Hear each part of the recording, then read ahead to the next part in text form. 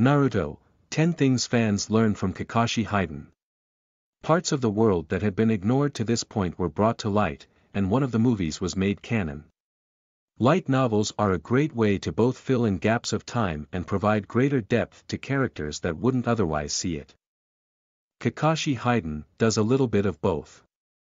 It shows what the world of Naruto looked like after Madara's defeat and how Kakashi came to become the sixth Hokage, the whole book leading up to that point.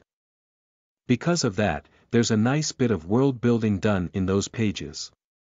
Parts of the world that had been ignored to this point were brought to light, and one of the movies was made canon as the Blood Prison is directly referenced. 10. How money affects the ninja world. This is the main plot point of the book as Gario and the Ryuo Armament Alliance are trying to free the world from the need for money, seeing it as nothing more than a source of corruption. Those within the alliance all have backstories that tie into this, making Naruto somewhat sympathetic to their cause. It's an interesting plot point, one that can be felt in the real world as well as the fictional one. Rarely does a shonen ever focus on the economic system of its world.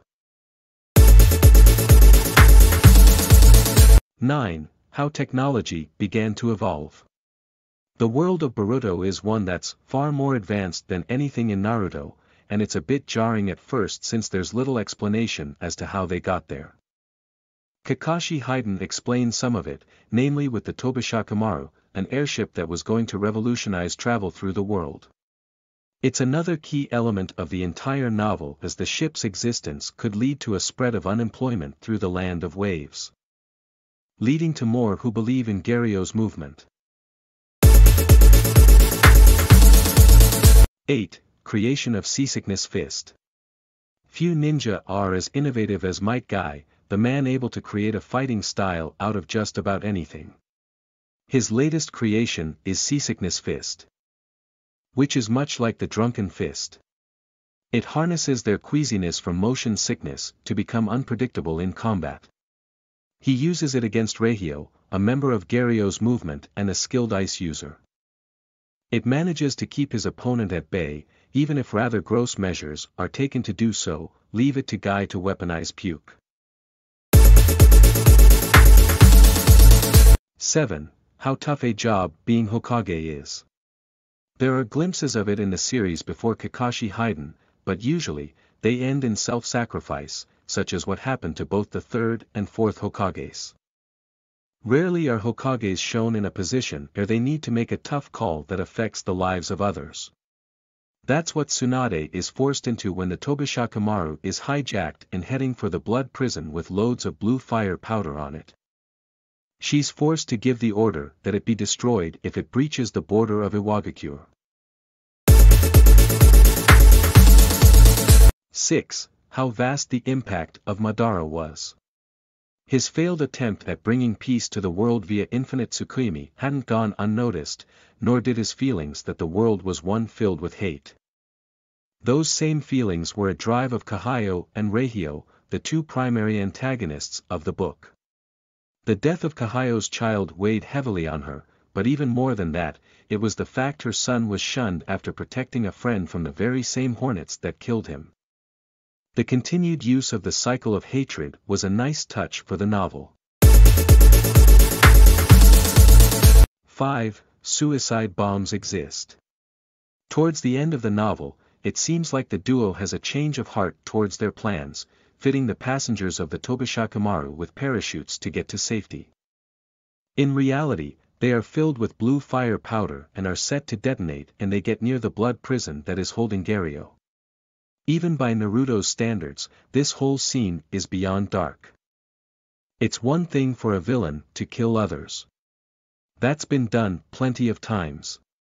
Using them as unwilling suicide bombers is quite another. 4. Tensions between villages still exist. The main basis for Tsunade having to make the call to sacrifice the passengers of the Tobishachimaru is due to Inoki, the third Tsuchikage threatening to bring the ship down himself. It shows that relations are still tense at times, shown by the fact that Konoha felt the need to hide the creation of the Tobishachimaru in the first place. A fact that didn't remain well hidden as Inoki already knew. Showing he was keeping tabs on the other villages. 3. Kakashi finding his resolve to become Hokage. Much of the book is centered around the conflict between Konoha and the Ryua Armament Alliance, but the secondary plot was always Kakashi coming to terms with the fact that he's ready to be Hokage. It's the novel's biggest arc, Kakashi getting constant cold feet despite his face already being etched into the mountain. By the end of the book, he comes to terms with it.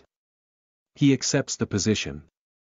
Knowing that soon the next generation will surpass him, something he wishes to see. 2. Kakashi's first act as Hokage.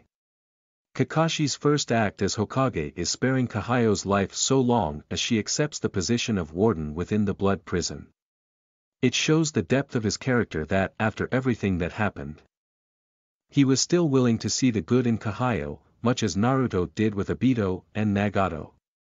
It drives home the overall theme of the series well and gets Kakashi's reign as Hokage off on the right foot. It would have been all too easy to just kill her to save face, but he's never chosen the easy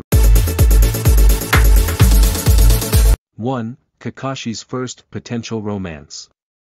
Art by Ralyandi Kahayo is one of the first characters Kakashi has seemingly taken an interest in and had she not turned out to be behind the attacks.